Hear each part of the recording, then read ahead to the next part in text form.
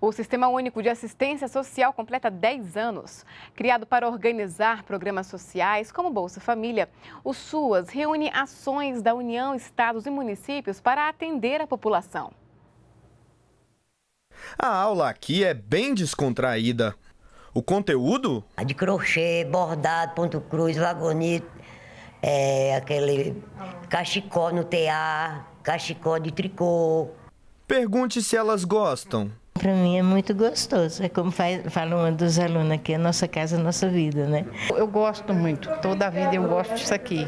Essa ação faz parte do programa de convivência da comunidade para reforçar os vínculos, especialmente entre os idosos. E a melhor coisa que eu acho é a gente é sair na rua e as pessoas encontram, ah, professora, dão aquele abraço tão gostoso. E a gente vê que aquela pessoa está para cima. Esse é um dos serviços socioassistenciais oferecidos nesse centro de referência da assistência social. O CRAS é a principal porta de entrada para os serviços de assistência social. São mais de 7.500 unidades como essa espalhadas pelo país. Mas a rede pública de atendimento da assistência social é ainda mais complexa. Os CRAs estão presentes em quase todos os municípios do país é onde podem ser feitos o cadastramento e a atualização de informações no Cadastro Único para Programas Sociais e a triagem e acompanhamento das famílias em situação de vulnerabilidade para a prevenção de possíveis riscos sociais. É de onde as famílias podem ter acesso a informações de programas, projetos e oportunidades e de onde podem ser feitos encaminhamentos para áreas específicas como a saúde.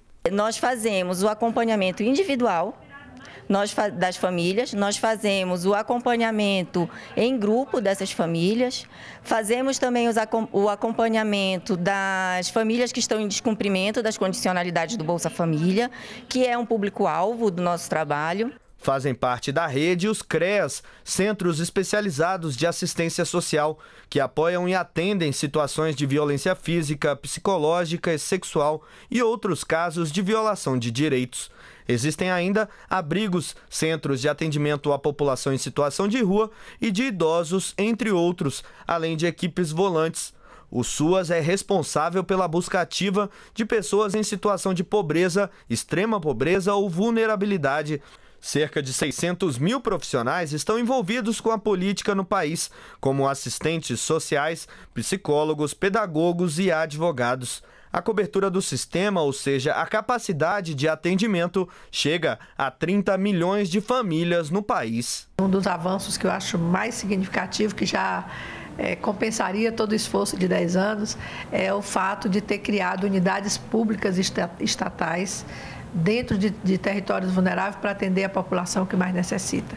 O investimento do governo federal em assistência social para este ano é previsto em 75 bilhões de reais e o Sistema Único de Assistência Social, que organiza a política e os serviços nessa área, completa nesta quarta-feira 10 anos, ajudando a reduzir as desigualdades no país e garantir mais qualidade de vida e direitos para milhões de brasileiros. Hoje a gente tem cerca de 30 milhões de famílias, aí são famílias, né? Se você multiplicar aí por três ou quatro membros, você vai ter uma cobertura significativa de serviços que são ofertados.